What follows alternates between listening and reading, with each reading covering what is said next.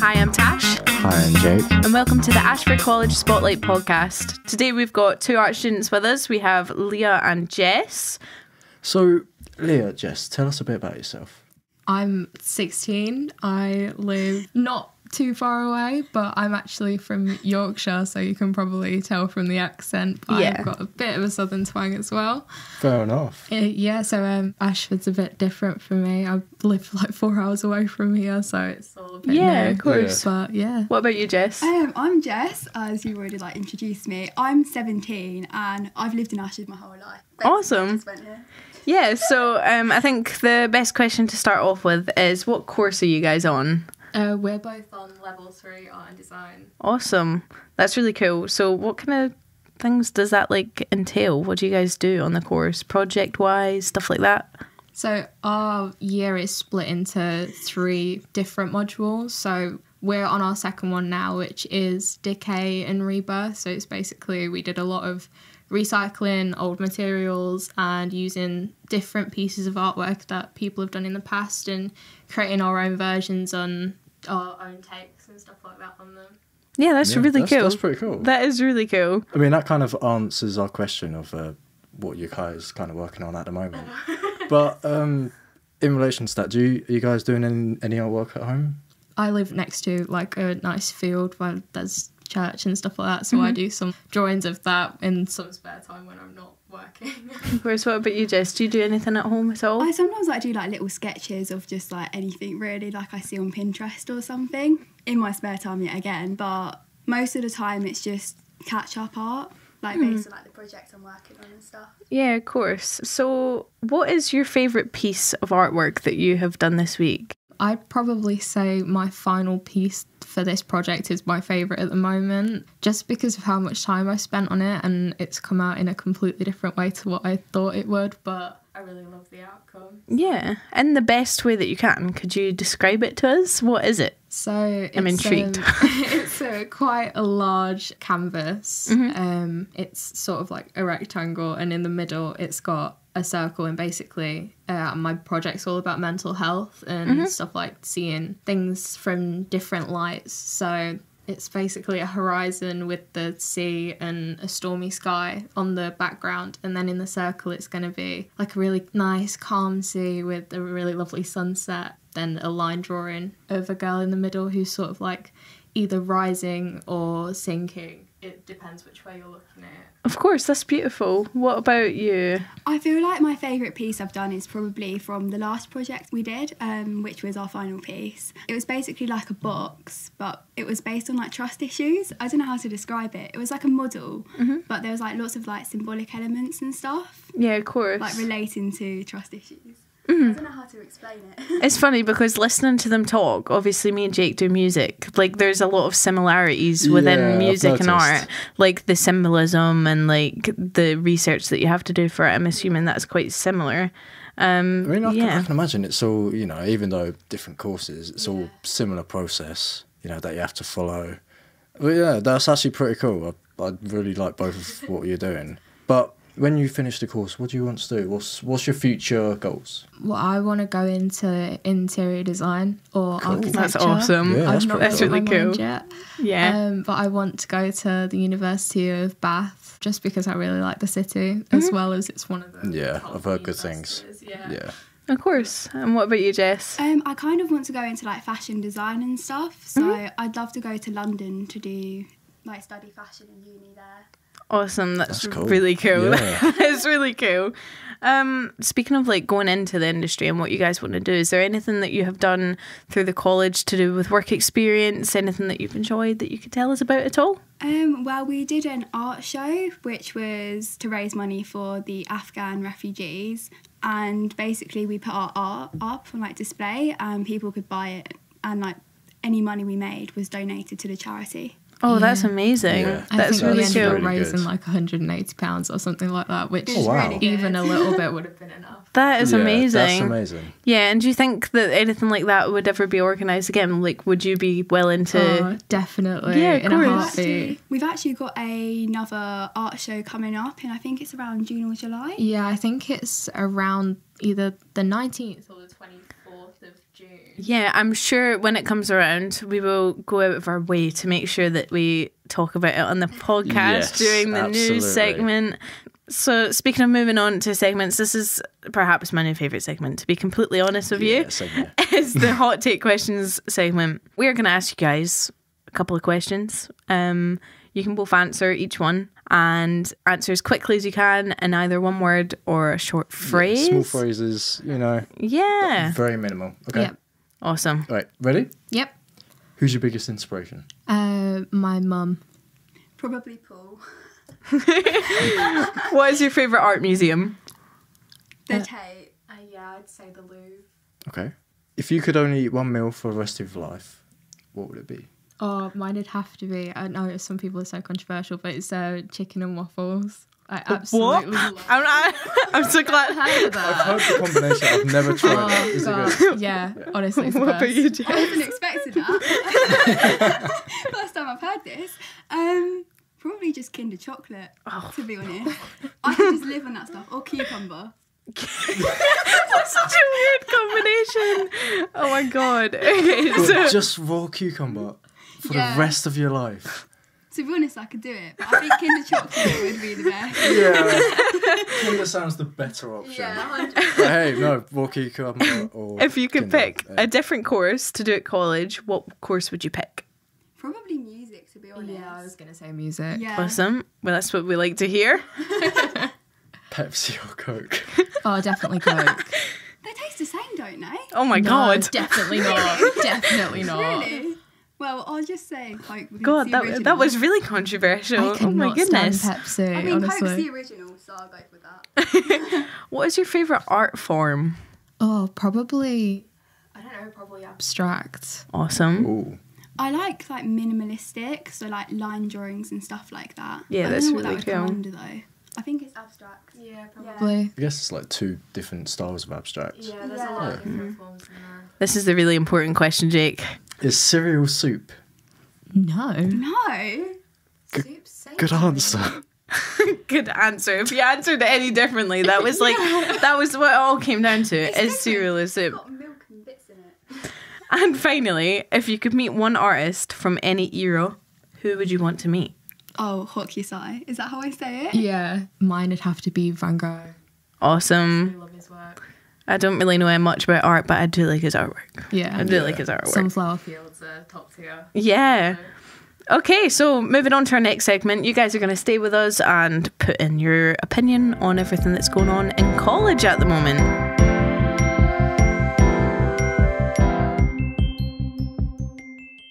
What's going on in college now, Tash? Um, so we've got enrichment on as usual. In the music department, we've got DJing, Ableton, uh, guitar lessons, piano lessons, basically everything. Vocal tutoring starting next week with me and Romy, I believe. I don't know if you guys have anything on during enrichment. Do you want to tell us about it? Yeah, we um after our lesson we have uh, just a like a really informal art sort of enrichment, which actually has some of the stuff that we do in our actual lessons. So it's Yeah. not sort of we're gonna like baby you and be this is how to sort of draw or anything. It's Yeah. actually quite technical and stuff like that. It's like printmaking techniques and everything. yeah, it's, it's Yeah. quite nice. Oh, yeah, that that's sounds really cool. that's really cool. And then Yeah. obviously we've still got badminton on. John's favourite. Yes. Throwback to the first episode. Yeah. Yeah, he Oh. loves a bit of badminton. Who doesn't? Badminton's great. To be honest, me, but um, Okay. Fair I'm, enough, not, I'm not very good at it. To be completely honest with you, that's that's my thing with it. I'm not very good at badminton Yeah. or tennis or anything to do with hitting a ball with a racket. Yeah, Um, I mean, ba- I'm alright at badminton. I'm I suck at tennis. I'll be honest. it's fun, but it's just like, oh, I keep missing, you lose, and it's like, no, it's not fun. So, just a reminder. Last week I mentioned about UCAS. They are due in on the 26th of Feb, and if you're, you know, having, you just need uh, help with it, or just any pointers or advisories, talk to Tom in the eHub. He will massively help you out. He, uh, I know a lot in our class during our project. It's heavily involved with like university applications, and he helped us out massively with that. Find him once again in the eHub in his little corner. You can't miss it. Awesome. So another thing that we have coming up is the open day on the 24th of Feb, which I'm really looking forward to because it's not a virtual one anymore. People are Oh, allowed to come in. in. Yeah, so we can give them tours around the studio, um, DJ tutorials. I don't know. Do you, have you guys ever volunteered at the open days? Me and my friends did before. Everyone came in, they did a bit of screen printing and got to take it home with them. So that was Awesome. Yeah, that's really cool. I think it's just a nice thing to let people kind of have a glimpse of Yeah. Ashford College without the pressure of actually having to come here for the first day and stuff like that. Big news in the cafe: free breakfast in the morning. So, say if uh, you have to get up early and you get to college by either train or bus, and you don't have time to have breakfast in the morning, just pop down to the cafe. Yeah, you'll be There- fine. You can have anything there: croissants, sausage rolls. Sausage rolls, bacon, Bacon. hash browns. We did ask Ben last week what he would have for his free breakfast, so we are going to have to ask you guys. Um, sausage Oh. roll, bacon on a roll, hash brown, croissant. What are you wanting? I think it. everything. Yeah, if I could, I would. But I think it would be either probably a bacon roll or a croissant. Depends what mood I'm in. Okay, so the next thing that I have to talk about, which is exciting and it is also new info that I have been told. In the coming years, the college are going to be organising a trip to New York and Paris. Ooh. Very wow. fancy. Um, yeah, so that's something that's coming up. Obviously, we were talking about you guys' favourite museums earlier. In Paris, there are many art museums.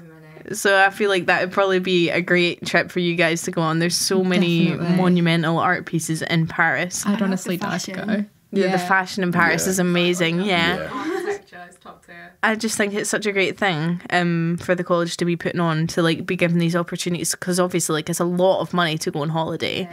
And when I was talking to some of the shooters about it, they were obviously saying they're trying to find a way to make it relatively affordable for students to be able to go and have that opportunity to do that. So we're moving on to our next topic. Last week we were talking about work experience. This week we are talking about social media and how social media influencers paint a perfect life to teens that make them feel like they have to live up to something um, and how it impacts their mental health and what could be done to resolve the issue. Does anyone have any opinions on that at all?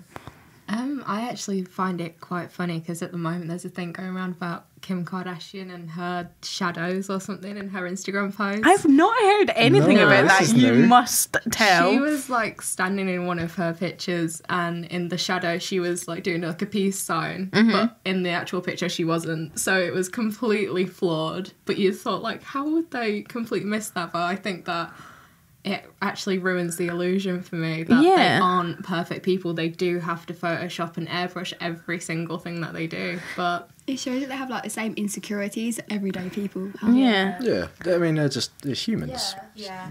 I know on social media it's very easy to put them on a pedestal, in you know, in almost like an online following. They have millions and millions of followers. Very easy to put them almost in like a god or goddess sort of like status. And I think maybe I don't know on their ends they could perhaps release content that shows them you know they're they're you know they're, they're human, not Yeah. some god or goddess. They're human. they really, make it's more mistakes. happiness. Yeah. Because when they're editing, it's like teaching people who are looking at their posts that you need to edit to achieve. Yeah, makes it's I, th- I find it quite like harmful, especially to teenage girls. I mean, even to boys as well, um, where people like airbrush their face so that it looks perfectly smooth. There's no pores whatsoever. There's like no flaws to their face. They have like that perfect shaped face. That it's just kind of creating this false image that you have to look like that to be Yeah. beautiful. Because Like- I know myself when Yeah. I look at like images of them, I'm like, why don't I look like that? And then mm-hmm. I remember like it's not natural. Yeah, it's it's, not actually yeah. There's no way. Yeah. screen and that's it. Yeah, of course. I just think that like obviously it can be quite damaging. I think something that I noticed that they've done recently is started removing the likes on pictures so you can't see how many people have liked a post. I think that's quite cool because I feel like some people rely on the amount of likes that they get for like Yeah. validation. the amount of followers as well. It's. Mm-hmm. I think it should just be the people you know to see the real you. Like, yeah, you can branch out and have other friends online and you know meet whoever you want, but be the real you. You don't have to be airbrushed, even your personality. It's like Yeah. Perfect the way you are. yeah, exactly. Definitely, I agree. Yeah. I mean, I think more can be done from ev- everyone to an extent. Uh, just kind of just to show that no one needs to be airbrushed. No one needs to, you know, have silky smooth skin like you see in Instagram posts. I think awareness uh, that we've all got our flaws. I think more awareness that you know we're imperfect. I think that would be the best way to almost combat this. I guess you could say it's pandemics. Every, Yeah. it's heavily affected a lot of people's mental health and yeah i think awareness i think that's the key word here Yeah. the point i'm trying to make mm-hmm. And to be honest, I think that there's some stuff that schools could do. Like I know a lot of schools, primary schools in general, do like lessons on like cyberbullying and stuff like that, which I think is great. Yeah. But I think even doing lessons on the fact that a lot of things in social media that you see aren't real. Like I don't know if you guys have seen that face app. And it like you can literally f- edit a full face of makeup onto your face and it looks like real. Like it's crazy. It's it's so harmful. It's really not a good thing. It's even down to like lifestyle as well, because when you see like these celebrities living their life, lots of people are like, "Why are you complaining? You have the perfect lifestyle," but they don't necessarily because they're getting like hate for everything all the time. Mm-hmm. So people are thinking, "Oh, I want to be like famous, to be rich, and like have an amazing life," but mm-hmm. in reality, yeah, Yeah. they get hate for things and. Yeah, of course. Yeah, I do think that there's a lot more that could be done about it, especially for kids our age, because we're quite impressionable at this age. yeah very easily influenced Yeah, of course. Um, I think that was a really great topic to talk about, and I Yeah. feel like that could probably entice more listeners, hopefully. I just think that so every week we're going to have a topic about stuff like that. We do have links on the Ashford College Instagram page to the YouTube channel, and if you see me about college, we've said before, me or Jake, don't be shy. Come up and if there's something that you want us to talk about at this segment at the end, you're more than welcome to give us suggestions or even just suggestions for stuff that we could talk about on the podcast in general. Or if you are a student and you're doing a course that isn't music or art, as we've already had music and art guests, you're more than welcome to volunteer to be our next guest. Yeah, so it's been great having you guys. Yeah, it's it's been been- it's really been lovely. It's been a great chat. I have been Tash, i've been jake and thank you for listening to the Ashford College Spotlight podcast.